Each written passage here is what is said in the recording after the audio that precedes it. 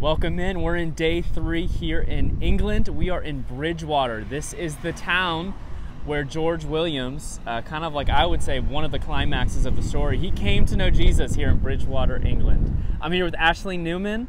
Ashley, why don't you give everyone just the quick summary? What are we doing in Bridgwater today? All right, so George was born in Dulverton, where we spent our past few days recording, and that's the little area he grew up in, a quaint little rural area. And um, when he failed at hay farming, um, his family shipped him away to try another trade, and it was uh, working in the factories. And so this is um, this is a little city where his first factory job was at a young age.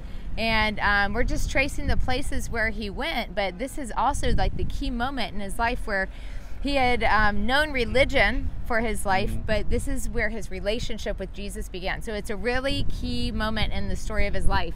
So even though it's not as pretty of an area, um, it's the most special part of the whole story. This is uh, the beginning of the YMCA. yeah, and we're, we're gonna go. It's windy here. Uh, we're gonna go to the chapel where he went to church and came to the Lord. And yep. in 1840, it was called Zion Congregational Chapel.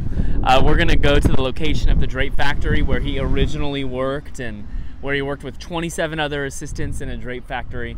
And uh, I don't even know if you can see behind us. I think David is filming right now some scenes over this bridge in, uh, in Bridgwater for the documentary. So thanks for following along with us. Yes. We'll check in a few times throughout the next two days and uh, give you guys some more clips from where what we're doing and where we're at here in England. Yep. Thank you. Hey, welcome to the City Movement Podcast. We're still here in Bridgwater on day three, and we are in front. Tally ho. Yes, I actually Googled that last is that night. Real? It is a way of salutations of saying goodbye uh, oh, in the UK. Okay. So, so it's real. Say, you can okay. keep on so saying. We'll start with cheers, and, and I'll give my, my word on uh, We're here at one of the most significant places in this story. Uh, why don't you tell us what's going on? Yeah, this is a special place, okay? It doesn't look that special. It's just kind of a little alleyway here in England, but it's called the Friarn Street Chapel. And this is where uh, George Williams, 15 year old kid, shipped off from the farm, shows up here empty, searching, hurting, hungry for God. Okay, and what happens is he finds these two friends that say, "Come to church with us." George Williams was like, "I don't really want to go to church. I'm like, I'm not finding what I'm looking for in religion, um, or institutions or rules." And they're like, "No, there's something real here." Mm. Okay, so they brought him to this place called the Friarn Chapel, and here there is a pastor by the name of Reverend Evan James. Not famous, not spectacular, but he explained the gospel to George. He basically said God loves him and he can have a relationship with the Lord. He explained that Jesus died on the cross, rose from the grave, and passionately was coming after his heart. And so it was like the light bulb turned on. Yeah. And um, in this moment, George just basically he went back to the drape factory, got on his knees, and said, God, if you're real, I want a relationship with you. He said, Would you come into my life? And that's the moment that changed his life and then ripple effect.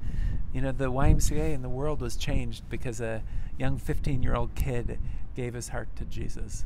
And so. I love that it happened here. Yeah. I mean, we're, yeah, we're, in, uh, if you can't see, uh, if you're listening to this without video, we're in the middle of a, an alley in a working class small town in England. Yep. And here is where one of the greatest movements in the last 200 years began. Yeah. You want to read that quote? Yeah, and there's there's a quote in a book that uh, this is what George Williams said about Bridgwater and the importance of this town in his life. He says, It is not easy to forget one's first love. I first learnt in Bridgwater to love my dear Lord and Savior for what he had done for me.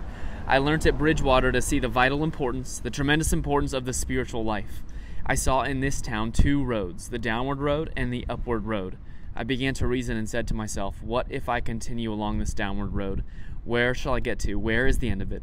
What will become of me? Hmm. And this is where he confessed his sins, trusted in Christ, and his life was changed yeah. forever.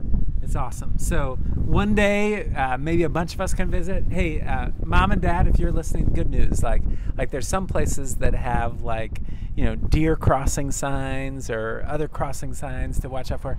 I can even bring you guys here because look here in Bridgwater, it says elderly people crossing. So, so I don't have to worry if you guys come with me. You will be able to cross the road without getting hit. So Praise we can all we can all come. Tally ho from Bridgwater, England.